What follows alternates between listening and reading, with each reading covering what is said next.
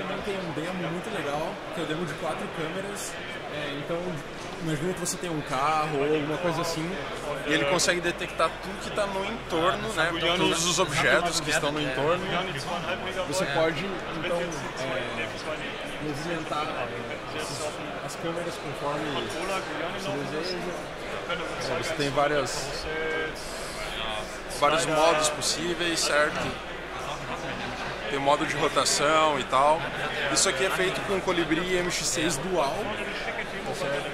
É, Aparelhos MX6 Dual. Então é algo que está bem otimizado, mas que é possível de fazer mesmo com o MX6. E é isso aí, pessoal. Um abraço.